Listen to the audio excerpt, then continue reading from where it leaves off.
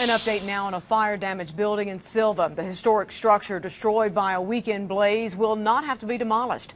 Town leaders originally thought the downtown building that was home to four businesses Trevelino's, Motion Makers, Bike Shops, Southern Signs, and Backstreet Airsoft would have to be torn down. But engineers say it is structurally sound and can remain standing.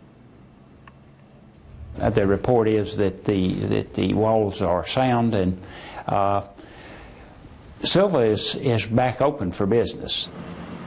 Traffic is still being rerouted in the area. Only one lane of Mill Street and one lane of Main Street are open. Town leaders say all lanes can open once a fence is in place to protect people as cleanup gets underway.